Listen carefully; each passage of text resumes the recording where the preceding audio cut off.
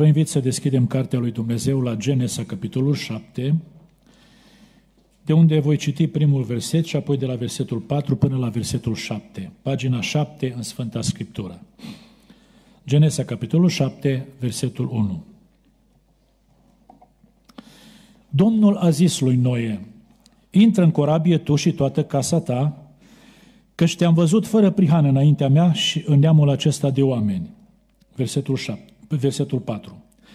Căci după șapte zile voi face să ploaie pe pământ 40 de zile și 40 de nopți. Și voi șterge astfel de pe fața pământului toate făpturile pe care le-am făcut. Noe a făcut tot ce-i poruncise Domnul. Noi era de 600 de ani când a venit potopul pe pământ. Și noi a intrat în corabie cu fiii săi, cu nevastă sa și cu nevestele fiilor săi din pricina apelor potopului. Amin. Veniți să ocupați locurile.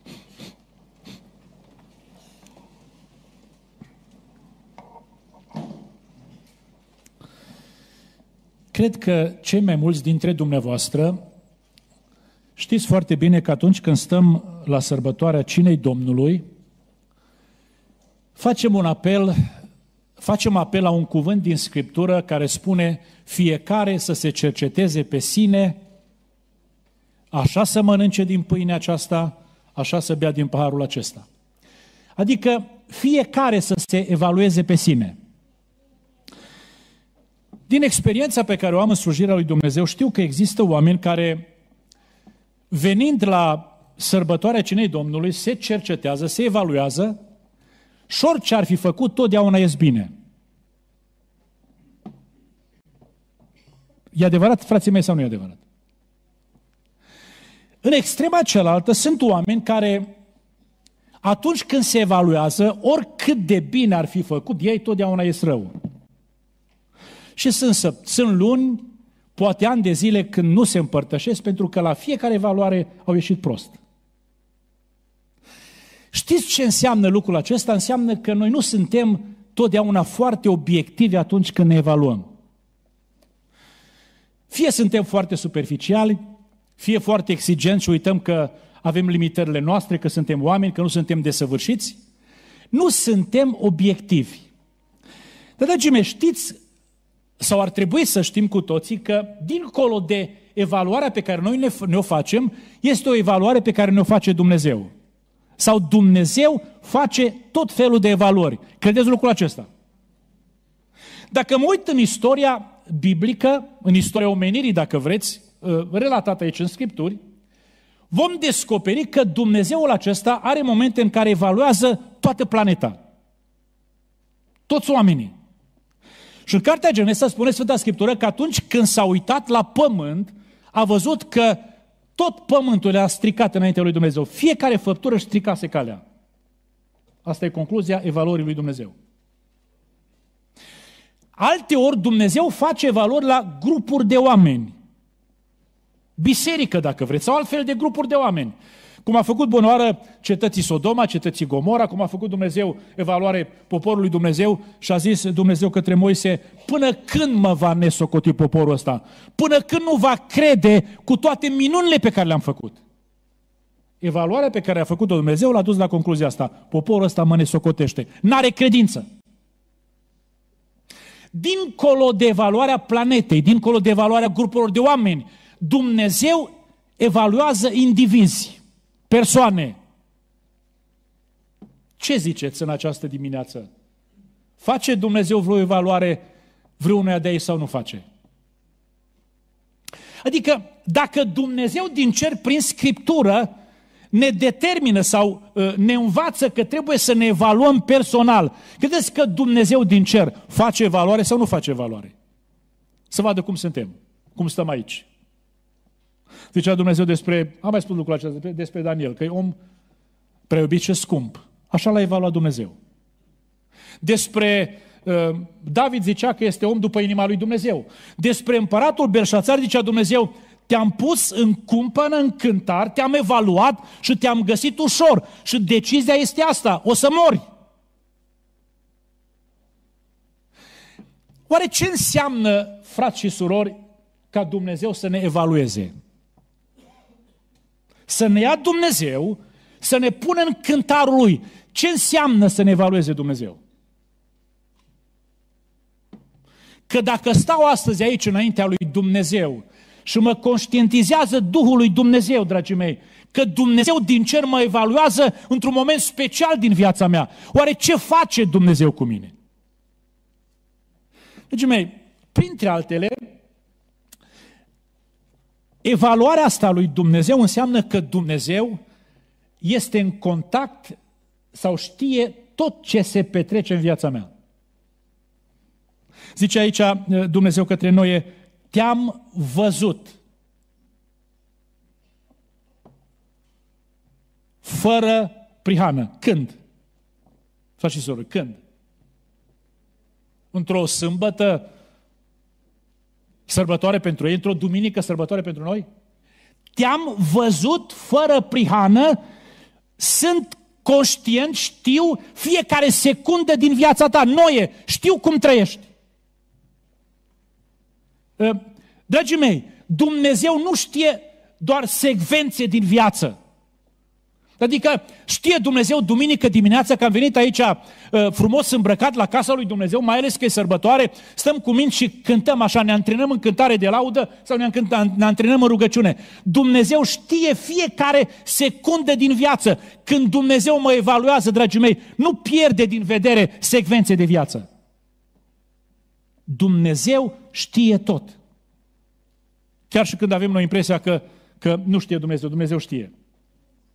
I-a zis Domnul Iisus Hristos lui Natanel, care a venit, uh, uh, mă rog, motivat de Filip, cumva să vină, a venit și a zis Domnul, uh, iată un izraelit în care nu este niciun vicleșug.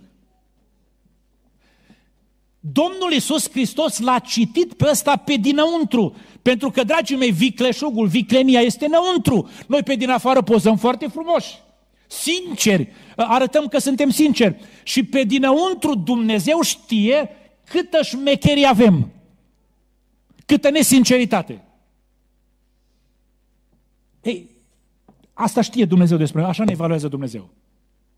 Știind totul despre noi. Dar a te evalua Dumnezeu înseamnă să te ia Dumnezeu să te pună lângă ceva, să te măsoare cu ceva, să te pună lângă un standard. Care este standardul cu care ne evaluează Dumnezeu? Măsura cu care Dumnezeu ne măsoară. Deci, mei, uh, zicea Pavel în Romani, în capitolul 2, că lucrul acesta se va vedea în ziua aceea în care Dumnezeu, puteți să spuneți mai departe, după Evanghelia mea, Dumnezeu va judeca prin Hristos faptele ascunse ale oamenilor. După ce? După Evanghelia asta. Și câți dintre noi, dragii mei, când luăm cartea asta să o citim, dacă o mai citim, și citim ceva în cartea asta, zicem, într-o zi, după asta ce am citit, Dumnezeu mă va evalua. Ne mai gândim la asta? Să iubești, zice Biblia pe Domnul Dumnezeul tău cu toată ființa ta și pe aproapele tău ca pe tine însuți. Mă gândesc că într-o zi, după Evanghelia asta, Dumnezeu din cer mă va evalua. Mă gândesc la lucrul acesta. Iertați-vă unul pe altul cum v-a iertat Dumnezeu în Hristos. Citesc asta în Evanghelia asta. Mă gândesc că într-o zi după Evanghelia asta Dumnezeu din cer mă va evalua. Când citesc asta în Scriptură, mă gândesc la asta. Ei, dragii mei, Dumnezeu mă pune lângă standardul acesta. Și așa mă evaluează. Sau mă evaluează Dumnezeu după ceea ce mi-a cerut mie să fac. Zice Sfânta Scriptură aici, în, în ceea ce am citit acum, dragii mei, din, din Genesa, Noe a făcut tot ce i-a poruncit Dumnezeu că Dumnezeu le evaluează pe noi după cerințele pe care Dumnezeu le-a pus înainte. Și, dragii mei, ascultați-mă bine, într-o zi când Dumnezeu ne face evaluarea, poate evaluarea finală, Dumnezeu mă va evalua, mă va pune în cântar după ce mi-a cerut mie să fac. E, dragii mei, dacă Dumnezeu face astăzi evaluarea, v-ați întrebat careva dintre noastre cum ies azi la evaluarea lui Dumnezeu? V-ați întrebat? Pentru că avem în fața noastră astăzi un om care trece cu bine evaluarea lui Dumnezeu. Și de aceea am citit cuvântul ăsta din Biblie, de aceea am citit despre Noe, am mai predicat recent despre Noe în contextul familiei, am citit pentru că omul ăsta este omul care trece cu bine evaluarea lui Dumnezeu. Dumnezeu îi spune, când te-am evaluat, te-am găsit fără prihană. Domne, dacă astăzi mă evaluez pe mine, cum trec evaluarea asta? Dacă mă pui în cântar astăzi când mă pregătesc să întind mâna, să iau bucățica. Trec bine evaluarea asta. Astăzi când întind mâna să iau paharul, crezând că beau sângele Domnului Iisus Hristos și tu, Dumnezeule, mă evaluezi, trec bine evaluarea asta? Sau nu trec bine? Despre asta vreau să predic, dragii mei, despre omul care trece cu bine evaluarea lui Dumnezeu. Și rugăciunea mea către Dumnezeu este să nu fie doar noi omul ăsta. Să fim noi, oamenii care trecem cu bine evaluarea lui Dumnezeu într-o zi când stăm aici la sărbătoare, să ne împărtășim cu trupul și sângele Domnului Iisus Hristos. Ei, dragii mei, cum este omul ăsta care trece cu bine evaluarea lui Dumnezeu? Mai întâi de toate, omul ăsta este omul care își împlinește mandatul de la Dumnezeu sau responsabilitățile spirituale. Uh, acum, gândindu-ne la Noe, pentru că despre el este vorba, cam ce responsabilități a avut Noe în vremea aceea? Oare avem și noi astăzi? Ce ziceți? Știți care, a fost, care au fost responsabilități ale lui în vremea aceea? Într-o lume Uh, căzută, păcătoasă, într-o lume despre care zicea Dumnezeu că și-a stricat calea înaintea lui Dumnezeu, se ridică un om care are o responsabilitate. Știți care a fost responsabilitatea primită de Noe de la Dumnezeu? Să fie un propovăduitor al neprineririi. Adică? Adică ce? Știți ce să facă? Să promoveze standarde înalte de viață. Într-o lume păcătoasă, într-o lume care trăia după plăceri, într-o lume care nu vrea să știe de Dumnezeu, într-o lume care căuta tot felul de lucruri care să satisfacă ființa umană, într-o asemenea lume, noi a primit un mandat de la Dumnezeu să promoveze standarde înalte. Și în lumea aceea, noi să spună oamenilor, ăsta e rău și ăsta e bine. Mă vreau să vă întreb. Eu, trăitor în lumea asta, am această responsabilitate de la Dumnezeu să spun asta e bine și asta e rău? Ce ziceți, frații mei? Avem responsabilitatea asta. Nu bine sau rău după uh, mintea mea limitată sau după cultura mea uh, mai limitată. Bine sau rău după ce zice Dumnezeu din ceruri. Știți care este marea noastră problemă? Eu zic în casa mea asta e bine și copilul meu aceluiași lucru zice asta e rău. E adevărat sau nu e adevărat? Noi zicem ăsta e rău și cel care stă lângă mine pe bancă în biserica lui Dumnezeu s-ar putea să spună același lucru, ăsta e bine. Și întrebarea mea este, de unde le luăm așa de diferit? Pentru că eu ar trebui să numesc bine ce numește Dumnezeu bine. Și ar trebui să numesc rău ce numește Dumnezeu rău. Și întrebarea mea este, dragii mei, în lumea asta în care noi trăim, la fel de stricată ca și atunci, mai suntem oamenii care promovăm standarde, înalte, standarde înalte de viață, să spunem lumea acestea, ăsta e rău sau ăsta e bine. Frați și surori, Începând din casele noastre. Începând din Biserica lui Dumnezeu. Ieșind dincolo de zidurile acestea, acolo pe unde suntem împrășteați peste săptămână, oamenii să știe prin noi care sunt valorile lui Dumnezeu. Pentru că reușim să spunem două vorbe, dar reușim să trăim viața, dragii mei, după binele lui Dumnezeu. Dumnezeu din ce să ne binecuvinteze. Era responsabilitatea lui și responsabilitatea noastră. El trece cu bine evaluarea lui Dumnezeu. pentru că își împlinea această responsabilitate. Dar știți ce responsabilitate a mai avut noi de la Dumnezeu? Să lucreze la ce i-a dat Dumnezeu să lucreze. Dumnezeu a zis, Noe, fă o corabie. Pe lângă faptul că trebuia să proclame neprihănirea. Fă o corabie. Și, dragii mei, omul ăsta, Noe, a început să lucreze la ce a dat Dumnezeu. Și pentru că a început să lucreze la ce a dat Dumnezeu, Dumnezeu i-a dat izbândă în ce a făcut. Nu știu, nu știu după câtă vreme, nu, nu am făcut calcule, dragii mei. Poate e complicat să faci calcule și ajungi la concluzii greșite. Omul ăsta a început și a finalizat ceea ce a dat Dumnezeu să facă. A făcut o corabie. Cum poate ziceți bine, fratele da, Dumnezeu nu ne-a dat nouă să facem o corabie. Nu ne-a dat să facem o corabie. Dar ceva ne-a dat să faceți, să facem. Frați și surori. Și o să spuneți da. Și acum dacă v-aș lua pe fiecare în parte bun, dacă spui da, ce ți-a dat Dumnezeu să faci? Ați putea să răspundeți. Iar zice, ne-a dat Dumnezeu să cântăm în cor. Slavă Domnului! Vă apreciez. Munca voastră, felul în care v-ați pus la dispoziția lui Dumnezeu. Dacă aș lua pe cineva din sală, ce ți-a dat Dumnezeu să faci? Ce mi-ați răspunde? Că zicem da, Dumnezeu ne-a dat ceva să facem. Și dacă ne-am luat așa unul câte unul din biserica asta, mi-ar fi foarte greu să zicem, mie asta Dumnezeu mi-a dat să fac. I-a zis, i-a zis Domnul Iisus Hristos unuia pe care, pe care l-a vindecat și care, entuziasmat așa de, de experiența miraculoasă pe care a trăit-o, vrea să se urce în corabie, să meargă cu Domnul. A zis, Domnul, nu, nu, stai, nu, nu, nu, nu. Eu mă duc în drumul meu. Drumul tău este să te duci acasă și să le spui ce ți-a făcut Domnul și cum a avut milă de tine.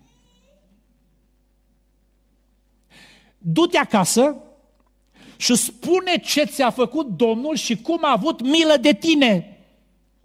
Și omul ăsta, dragii mei, știa aici foarte clar ce a dat Domnul să facă. Să meargă acasă și s-a dus acasă. Și a început să spună și a început să spună în toată zona aceea, spune unul dintre evangeliști, ce a făcut Domnul. Știți pentru ce ne-am rugat în această dimineață? Mai țineți minte?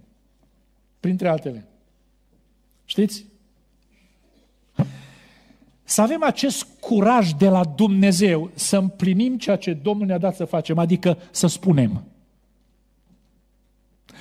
Nu avem îndrăsneală, ă, poate zicem nu avem prea multe de spus, dar dacă nu avem prea multe de spus, uitați-vă în carte și spuneți, ă, memorați două, trei versete din Biblie și aveți ce să spuneți.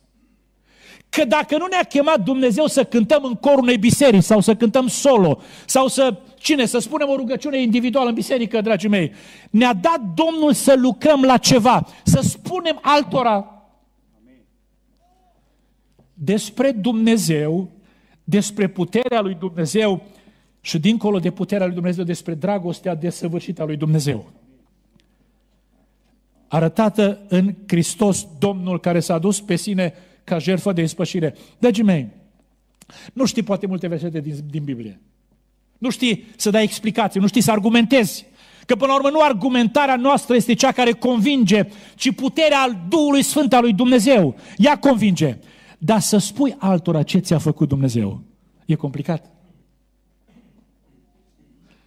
Știți ce zicea orbul acela? Îl întorceau liderii religioși pe toate părțile și încercau să-l încurce. Cum încearcă uneori cei care nu cunosc pe Dumnezeu să spună tot felul de întrebări din astea încuietoare. Uh, păi, ziceau liderii religioși, omul ăsta nu poate veni de la Dumnezeu, că nu ține sabatul, n-are cum să facă ce zici tu că a făcut cu tine, pentru că nu ține sabatul, e un păcătos. Omul ăsta nu s-a luat în, în gură cu ei cu dezbateri teologice, a spus așa, nu știu ce spuneți voi. Eu una știu. Am fost orb și acum văd. Mie asta Domnul mi-a făcut-o. E complicat să spui asta. Nu trebuie să mergi la școală, să faci teologie, să faci, să ai masterat sau doctorat, cine știe în ce domeniul teologic. Nu trebuie. Trebuie să te duci să spui ce ți-a făcut Domnul. Asta ce mi-a dat Domnul să fac. Pe lângă asta poate că la alții le-a dat Domnul mai multe să facă, dar cel puțin asta ne-a dat-o Domnul. Omul care trece cu bine evaluarea divină este omul care face ce i-a dat Dumnezeu să facă. Și tare mult m-aș ruga Domnului în această zi să înceapă prin Duhul lui Dumnezeu să ne ilumineze și să ne răscolească. Să ne răscolească pe fiecare cu această întrebare. Ce mi-a dat Dumnezeu mie să fac? Că suntem, dragii mei, prea confortabili în această lume să mergem duminica la biserică, să ne bucurăm aici în atmosfera aceasta duhovnicească și apoi să mergem de la biserică să uităm că suntem creștini, să uităm cine suntem, fii ai lui Dumnezeu. Așa am cântat în această dimineață. Și apoi să venim duminică să luăm de la capăt. Nu, nu. Avem ceva de făcut în această lume. În întunericul acesta, noi să luminăm prin cuvinte, dacă se poate, dar cel mai mult prin viața noastră care arată standardele lui Dumnezeu. Dragii mei, Dumnezeu face evaluarea și ieșim bine la această evaluare dacă împlinim ceea ce ne-a dat Dumnezeu să facem. Și mai este ceva, o responsabilitate, dragii mei, pe care a avut-o noi și pe care o avem și noi, este să ne exercităm autoritatea peste cei pe care Dumnezeu ne-a dat în grijă. A zis uh, Dumnezeu aici către noi, intră în corabie tu, nevastă ta, fiii tăi și nevestele fiilor tăi. Și noi a zis într-o zi, haideți. Frați și surori, credeți că Dumnezeu ne face responsabil pentru cei din casa noastră? Credeți lucrul acesta? A, că nu vor asculta, e altă poveste. A, că se vor duce unui iad din casele noastre, e altă poveste. Dar am responsabilitatea să fac ce a făcut Domnul Isus Hristos în această lume când a fost aici. A zis, veniți, veniți după mine. Să stau în fața familiei mele să spun, veniți după mine. Și după mine înseamnă să mă duc după Hristos. Spre împărăția lui Dumnezeu, asta înseamnă după mine. Dacă unul ia pe abătută care 25 de ani și un rebel, că alta se duce, cine știe, spre iad, pentru care 20 de ani și uh, trește rebeliune, altă poveste.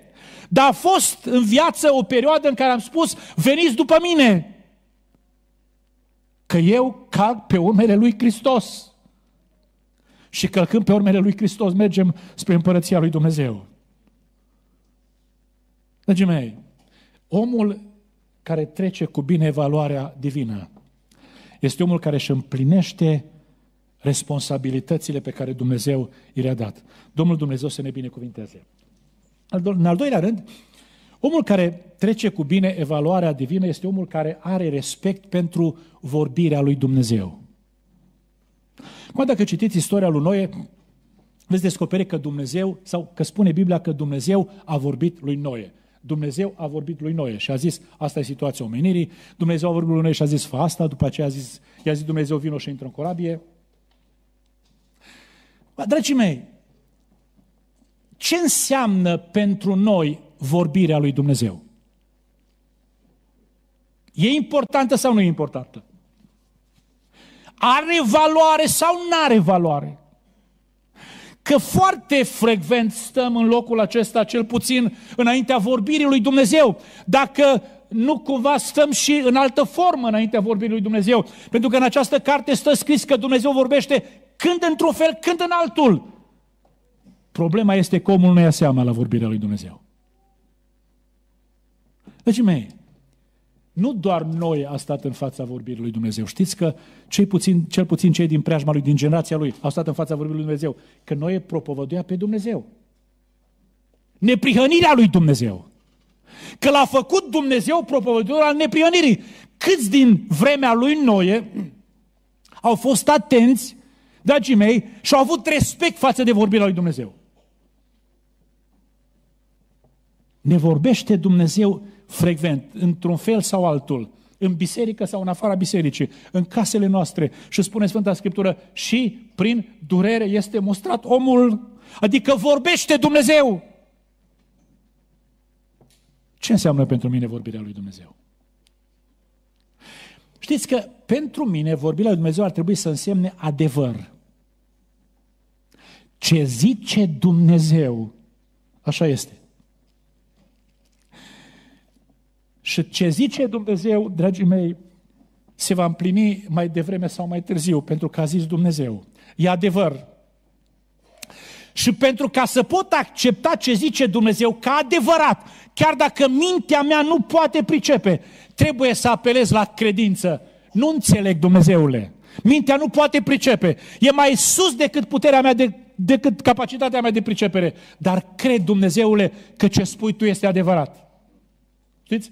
Ă, știți că Zaharia, tatăl îmbotezătorul, știți de ce a fost el mut o bună bucată de vreme? Știți, frații mei? A venit îngerul la el, era un preot bătrân deja, nevasta lui era înaintată în vârstă și ea. Și a venit un înger al lui Dumnezeu tocmai când slujea la altar și a zis, soția ta va rămâne însărcinată și va naște un copil. Și el n-a crezut. Și a zis îngerul Domnului, pentru că n-ai crezut, vei rămânea mut. Și a ieșit afară, dragii mei, de acolo de unde făcea slujbă. Era multă mulțime afară și omul ăsta n-a mai putut să comunice, pentru că n-a crezut ce a zis îngerul lui Dumnezeu, mesaj de la Dumnezeu, pentru că mintea n-a putut pricepe că Dumnezeu trece dincolo de limitările umane. Eu trebuie să cred că ce zice Dumnezeu este adevărat. Așa îl respect pe Dumnezeu. Așa respect vorbirea lui Dumnezeu. Dar, dragii mei, vorbirea lui Dumnezeu nu doar, nu doar trebuie să însemne pentru mine adevăr, trebuie să însemne pentru mine schimbare. Când Dumnezeu vorbește, ceva trebuie să se schimbe. Vă vreau să vă întreb, Dumnezeu care a vorbit, a vorbit lui, lui, lui Noe, vorbirea asta lui Dumnezeu a produs ceva schimbare în Noe. Frați și soră, ce ziceți? A, era el neprihănit. Dar când i-a vorbit Dumnezeu, ceva s-a schimbat în stilul lui de viață. Omul ăsta ă, muncea, alerga, îngrija de familie. Dar într-o zi a început să meșterească altceva. Să facă altceva. Pentru că Dumnezeu din cer i-a vorbit și a zis, fa asta. Și el a început să facă aceea. Și toți au văzut că s-a schimbat ceva. Vorbirea lui Dumnezeu. Venim aici în locul acesta, dragii mei, duminică de duminică. Dumnezeu ne vorbește. Vorbirea lui Dumnezeu trebuie să schimbe ceva în viața noastră. Dacă Dumnezeu ne cheamă să ieșim din nepăsare, dragii mei, cei din casă o să vadă, bă, tata până acum a fost nepăsător. Mergea și nu mergea la biserică. Dintr-o dată e nelipsit. Tata n-avea nicio treabă cu rugăciunea. Dintr-o dată are timp special pus deoparte pentru rugăciune. Ceva s-a întâmplat. Dumnezeu i-a vorbit și a luat în serios vorbirea lui Dumnezeu. Pentru că vorbirea lui Dumnezeu înseamnă, înseamnă schimbare. Când a vorbit Dumnezeu lui Moise, l-a întâlnit acolo uh, la muntele lui Dumnezeu și a vorbit Dumnezeu și a zis Dumnezeu vreau să te trimit în Egipt. Și nevasta, și copiii, și socru, și poate slugile, au văzut că s-a schimbat ceva. Omul ăsta și-a pus traista în băț și a plecat spre Egipt. Că a zis Dumnezeu, vreau să te trimit în Egipt. A fost schimbare. Asta înseamnă vorbirea lui Dumnezeu. Schimbare.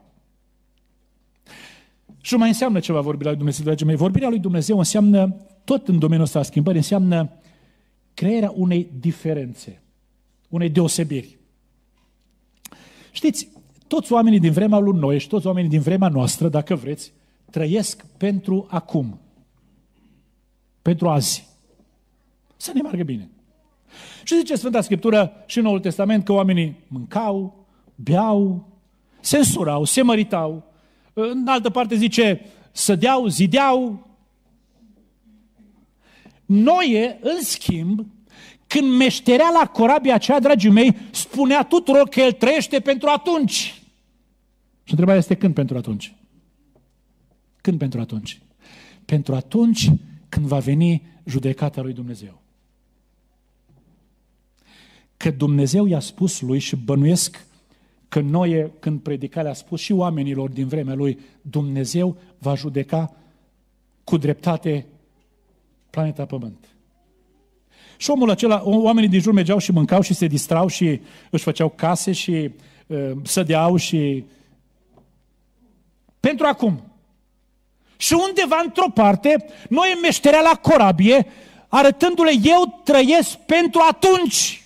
Frați și surori, am stat într-o zi și mi-am, mi-am răscolit așa mintea mea și viața mea și mi-am zis, în ultimele 24 de ore, hai să zic în ultima săptămână, cât am trăit pentru acum și cât am trăit pentru atunci.